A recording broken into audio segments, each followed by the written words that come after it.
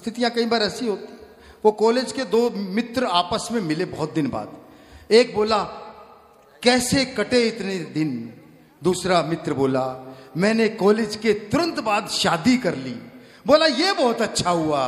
बोला, नहीं, इतना अच्छा भी नहीं हुआ, क्योंकि मुझे पत्नी बहुत झगड़ालू मिली। बोला, हो, फिर तो तुम्हारी ज़िंदगी नरक होगी होगी।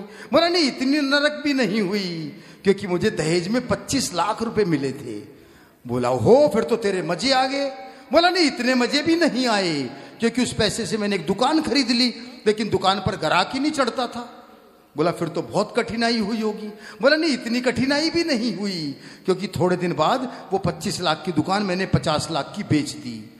बोला हो तुम्हें तो बड़ा मुनाफा हो गया, तुम्हारे तो बल्ले बल्ले हो गए। बोला, इतनी बल्ले बल्ले भी नहीं हुई, क्योंकि उस पचास लाख से मैंने एक मकान ले लिया, लेकिन मकान में आग लग गई। बोला हो तुम तो बड़े दुर्भाग्यशाली निकले।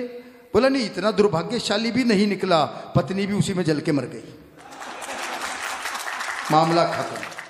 तो अपना मामला खत्म होने वाला है। बिल्कुल समय की सीमाएँ हैं। और मैं विनोद पाल जी को आमंत्रित करना चाहता हूँ। चार पंक्तियों से आमंत्रित करता हूँ कि बताएँ, क्या तुम्हें कितना वतन को प्यार करते हैं? बताएँ, क्या तुम्हें कितना वतन को प्यार करते हैं?